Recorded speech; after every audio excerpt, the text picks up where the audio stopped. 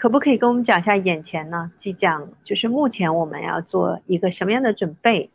那然后我看了一个阿南德的一个预言，他也讲了说六月二十日会有严重的大事发生，然后这件事情会涉及到英国和以色列，然后世界呢也会经历更动荡的一个时间。其实您还有阿南德都是提醒世人要做一个准备，那我们做一个什么样的心理准备呢？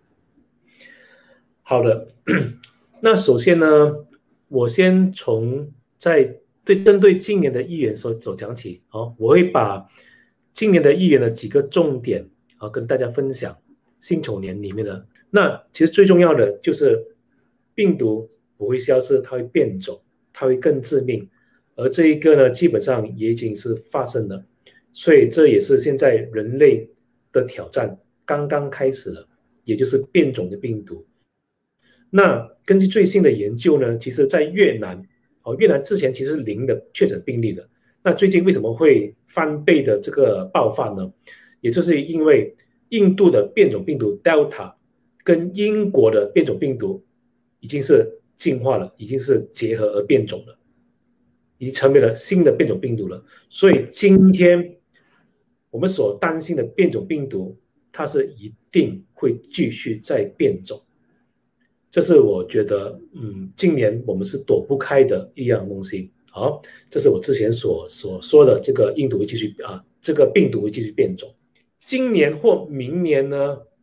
根据一些卦象跟一些推测，我会觉得很有可能会有一种超级的病毒会出现，就是多种病毒变种变异过后呢，会有一种更致命感染。率更强的一个超级病毒，如果真的是万一发生的话呢，那抗疫的这个努力呢，可能就会再开倒车了。所以我非常不希望它会发生这个超级病毒的出现。好，第二预言呢，就是讲新型的病毒会延伸。那我们也知道，在近近年年头，呃，这个非洲本身会有这个呃伊波拉的病毒，哦，也已经是继续在爆发了，但是在媒体上比较少报道。哦，它也是致命性很高的一个病毒。那刚才我所说的，也就是上个月这个美国研究院所发表的这个新种的冠状病毒，也就是这个犬的冠状病毒、狗的冠状病毒，哦，这也是属于一种新被发表的病毒。当然，暂时是威胁不大。如果这种病毒再进化的话呢？它会是一种全新的冠状病毒，也会是第八种可传染给人类的冠状病毒，所以我觉得这个我们绝对不能够掉以轻心。如果今天第七种冠状病毒还没有解决，再来第八种的话呢，我觉得人类就真的是迈向一个更大更大的挑战了。当然，在今年里面呢，也有很多个案，很多。破历史性记录的禽流感，也就是呃传染给这个动物啊，动物、鸟类、猪只禽流感的这个病毒，就比如说，呃，在去年冬至过后，在欧洲本身呢发生了很大型的禽流感，而是十年来最大型的禽流感，也扑杀了上万只的这个鸡只，然后呢？它本身也发现到这个 H5N8 的禽流感病毒毒株，在这个欧洲的国家过后呢，日本也在去年冬至过后发生的最严重的禽流感，是另外一种病毒株，而且日本呢已屠杀了四百六十万的鸡只，就是因为有史以来最严重的这个禽流感对日本，在今年的二月份。俄罗斯有七个人感染了 H5N8 的禽流感，它可能是来自鸡只，也有可能是来自猪只，而且这是可感染给人类的禽流感，可感染给人类的禽流感。而在本月份六月九号，二零二一年六月九号，美国呢就首次的一个可感染给人类的一个病毒，叫做坦汉病毒，坦汉病毒。是可从这个动物感染给人类的。其实这个病毒呢，已消失了十七年，然后它已经在本月份，就是六月九号，已经被啊公布出来了。开始第一宗在美国感染给人类了。所以我们看到的今年的这个病毒的感染，尤其是动物病毒感染呢，其实也不容小窥。我们已经把太多的专注力放在这个新冠肺炎了，其实很多其他的病毒已经在蠢蠢欲动了。这也是我希望世界卫生组织跟很多国家的科学研究院，他们一定要更小心的去处理这些病毒的问题，尤其是可传染给人类的这种病毒的问题，一定要去解决。其实我有说过，会有全球性的这一个电脑故障。或者是被这个骇客侵略，这个全球性的电脑病毒，所以我们在今年的四月份，脸书 Facebook 也是被侵入了，全球有五亿个用户受到影响，也产生了这个系统的问题。然后在今年的六月九号，全球性已经宕机了，所以全世界有很多的政府机构、很多的大企业的这个伺服器已经受到了影响。一天里面呢，无法进入，也无法去啊从事这个生意的这个问题，这也是因为这个 Fastly 和，全球很出名的这个呃 server 这个伺服器的这个供应者产生的这个故障的问题，所以包括多国的政府机关啊，包括很多的大组织，他们的电脑系统也不能被操作了。六月十号，脸书、Facebook、Instagram、WhatsApp 再次的。全球性就是有四十八线的用户进入不到这个城市，就因为这个伺服器的问题，造成全球性的这一个啊宕机。还有在这一天哦，连续三天，九号是全球性的这个伺服器的问题，十号是这个 Facebook、WhatsApp 这个 Instagram 的问题，然后十一号呢，全球最大的肉类生产商 JBS。也因为骇客的入侵，使到他们全球的系统都已经是瘫痪了，所以他们也付了一千万美金，一千万美金给这个骇客去开封啊，去解封他们的问题。所以大家可以看到，今天的能量也是在电脑系统上也会发生很多类似的问题。所以我奉劝大家，尽量不要把太多的隐秘。私隐暴露在这个网络世界里面。我在上一个视频所提及的，就是四月到六月份希望会落空。我们原本以为已经是成功了，已经是开始改善的的这个世界性的一个问题，它会重新的再卷土重来。而现在所发生的事情呢？包括印度、包括台湾、新加坡、包括马来西亚、包括印尼，很多的国家也是四月份开始病毒开始反复了，尤其是印度的情况更加的呃令人担忧。当然现在有缓和的迹象，但是现在缓和的迹象呢，印度会有另外一个病毒的这个侵侵略，也就是毛霉菌。其实毛霉菌本身呢，它是存在这个自然界。很久很多千万年的一种真菌，只不过当人类的抵抗力是强的时候呢，这种真菌它就不会侵犯我们的人类。但是就是因为最近在印度本身的这个病毒的这个新冠肺炎的问题，所以很多病人呢就被注射这一个类固醇。而我在之前已经说了，类固醇它是用来压低我们的免疫系统。因为要抵抗这个细胞因子风暴，但是压低了这个免疫系统过后呢，他们就很容易的受到这个毛霉菌的感染，而更恐怖的毛霉菌的感染呢，就是大部分人他们需要做很痛苦的选择，一就是你失明，就是细菌细菌感染的你的眼球，你需要把眼球摘下来，失明或者。是命，一就是你选择你的命，一就是你选择你的眼睛。然后在四到六月本身呢，马来西亚也是一样，由当初四月份，当初只有一千多宗的这个确诊病例，一天一千多宗，直到最高峰五月尾，五月尾已去到最高峰的九千多宗一天，也是全世界。啊感染病例最高的一个国家之一，在那个时候，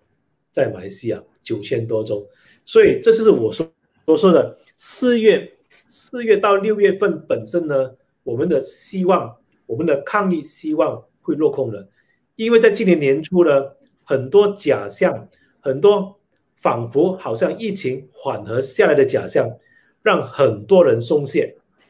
也包括印度本身，包括印度的政府，其实也松懈下来了。也包括印度的媒体呢，他们所所大肆报道这个疫苗接种的这个新闻呢，也让到很多的印度人啊，在年头的时候，他们还以为还以为印度已经达到了群体免疫，这是一个非常错的一个讯息，在印度啊传开来了，也就是因为他们的媒体。大肆的报道这个印度接种的这一个呃新闻，所以印度人本身呢，他在年头呢就开始放松了。到了三月份，是是很多大型的活动也在印度呃举办，甚至是很多人是没有戴口罩的。所以在四月份呢，真正的真相就开始发生了，开始发生了，就变变成了这个人间炼狱在印度。对于英国来讲呢？也是一样，英国在现在呢，它的疫情原本在上个月份已经是开始受控了，而且也达到这个单日零死亡病例的这个呃令人鼓舞的这个数据，但是过后很快就回来了，就是因为印度的 Delta 病毒，英国感染呃新冠病毒的人呢，有九十八千都是感染了 Delta 病毒，而且 Delta 病毒比这个英国的变种病毒的感染率呢。高出了六十八线，更加容易被感染。所以原本在啊这个月二十一日会解封的英国呢，也延长到下个月的十七日，应该是七月的十七日。原本是要解封的。然后呢，英国人其实他们已经有五十六八线的成年人接种了疫苗，算是蛮多的。但是现在就因为这个 Delta 病毒。他们发现了一个可怕的数据，在死亡病例里面有三十八线的死亡病人、死亡病患，他们是已经注射了两剂的疫苗，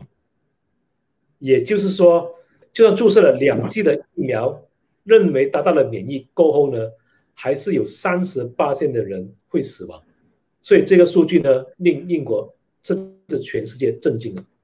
所以英国现在呢，也开始继续的封锁。继续的封锁，而且要针对这个 Delta 病毒再做出更加大的一个抗战。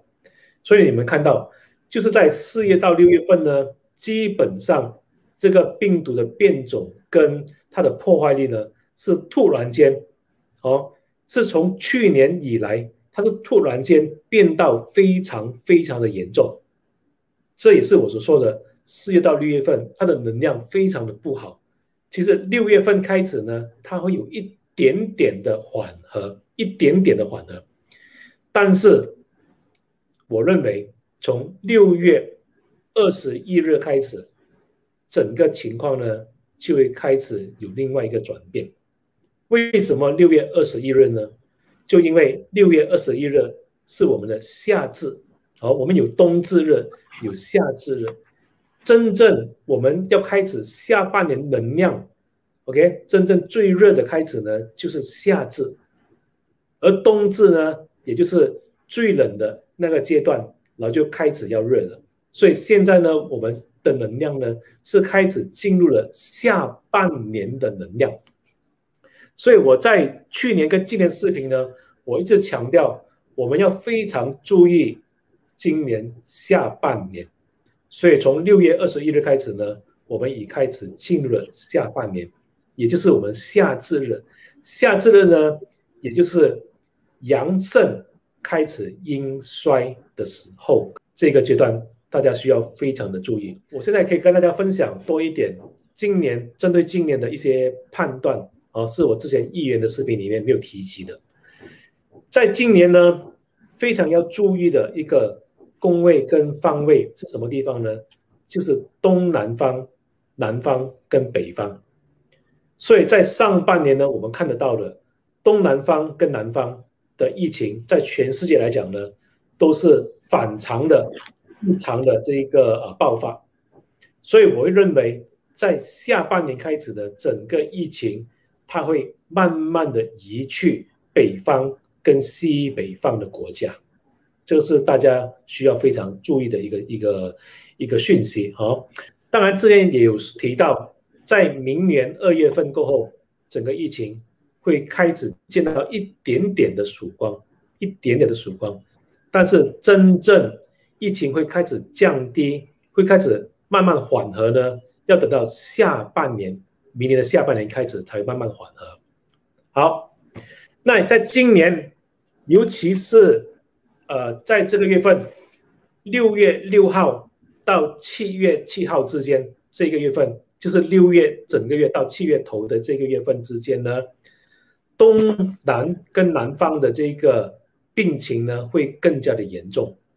好，就因为呃，我们的这个盘里面呢，看得到，今年我们的五黄就是那个灾难性呢，会给火在身旺，因为火会生土，所以火会在身旺我们东南方的这个方位，而且南方本身呢，也是会疫情更加的严重。而真正我们需要去注意的，其实。是下个月跟后个月，尤其是七月份，七月七号到八月七号之间的这一个月份，为什么呢？因为在整个八字来讲，哦，在八字系统来讲，它是属于天克地冲的一个月份，而如果有学过八字的人都会懂，天克地冲呢是最严重的一个情况，而下个月份呢？我们的这个乙未月，乙未月呢，就会跟我们的辛丑年天克地冲，整个的财星，若想经济呢，它就会进入这个五黄位，就是整个财星呢，它会掉入了这个五黄的这个凶位里面，而所以讲经济，它会在下个月开始会看到下滑，甚至调整的一个情况。会在我相信会在下个月开始发生，直到年尾。所以大家有投资的真的是要小心，因为我们所担心的这个经济下滑或者是调整呢，我相信根据这个盘来看呢，根据这个八字系统来看呢，在下个月非常有可能会下滑跟调整。其实。奇门遁甲就说呢，不只是在七月份，是在七月到九月之间呢，经济本身都会有非常大的一个调整，因为它进入了不好的宫位，而且有不好的心跟门，心和门会告诉我们，这两个月份呢，经济会不妙，会有很多事情发生，会影响经济。至于这一个疫情呢，我会认为。这个病情呢，在八月份，北方的国家，在北方的国家，八月份应该疫情会开始严重，会开始严重，因为这个病的心，病福星会去到北方，所以我认为就开始之前我所说的，下半年整个疫情呢，会慢慢的移去北方跟西北方，而八月份呢是非常的关键。因为在盘里面看得到呢，八月份开始，这个北方的国家的疫情呢会开始慢慢的严重了，所以我们所总合一下，七月份是一个非常不妙的，不管是疫情，不管是经济上，大家都需要非常的小心去处理。八月份也是一样，虽然病情在东南方跟南方有所缓和。但是北方跟西北方呢，也会病情也会开始的肆虐开始起来了，所以基本上这些东西都会一直在发生。所以九月份过后呢，我暂时我就不判断了啊，因为我们接下来七八月过后呢，我会慢慢去公布呃未来几个月会发生的事情。所以总的来讲，整个下半年都不会太好，疫情会反复，甚至到年尾呢，整个疫情会更加的严重。然后第二就是经济非常有可能会有下调、会有调整的一个情况，那至于会不会产生一个全世界性的经济风暴呢？还言之过早。但是我认为调整应该是会有的。如果是没有的话呢？我认为在二零二四年火运之前呢，全世界也会一定经济上会有一次大调整。因为从土运进入火运呢，它是一个很大的一个变化，这是全世界性的一个天时的变化，所以在经济上呢，一定会有一个很大的一个调整。至于在七月份呢，在八字上来讲呢，也会有一种叫做呃三观客观的一种术语哦，这是八字的术语，三观客观，也就是说呢，会有更多的人。可能不满一些组织，甚至政府，甚至国家，而群起反抗，就是这个三观客观的一个所看到的一个一个迹象。官呢，就是官员、官僚、政府，甚至国家，甚至一个组织，那个叫官。OK，所以会有一些团体，甚至人民会更加大的能量，会群起反抗。在这个七月跟八月份，会有这个情况会发生。而这个官呢，也会为了面子跟这个权益，也有可能他们会有发动这一个镇压的可能性。当然，镇压未必是呃很大的流血事件，我希望不是。但是他们可能会为了面子，会做出这一个，甚至是捕捉这些啊示威的人呢，甚至镇压的一个情况，会在这个这两个月份发生，因为它的能量啊不是很好。至于啊。九月跟十月份啊，这边我可以讲一点点，就因为在奇门遁甲的这个年盘里面呢，有这个白虎的出现，所以在这两个月份本身呢，我会相信在全世界呢，会有更多的争端、争执，甚至一些小型的战争，会在这两个月份会发生。所以你们看，在整个啊辛丑的下半年呢，基本上都是啊。凶的情况会好过好的情况，所以可能是会有人祸，会有天灾，甚至疫情也可能会更严重。所以我希望真的大家尽量哦咬紧牙关去挨过这一年，尽量少出门，然后尽量去加强自己的免疫系统，做好这个防疫的措施。那我也在这边可以说。或是鼓励大家去接种这个疫苗，因为我们已经没有更好的选择了，全世界已经没有更好的方案了。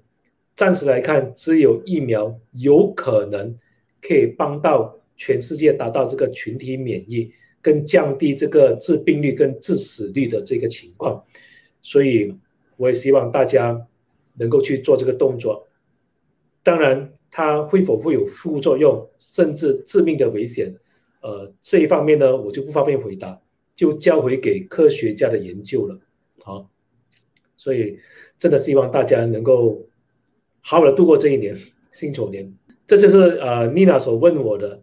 呃，为什么我讲辛丑年是一个不平凡的一年？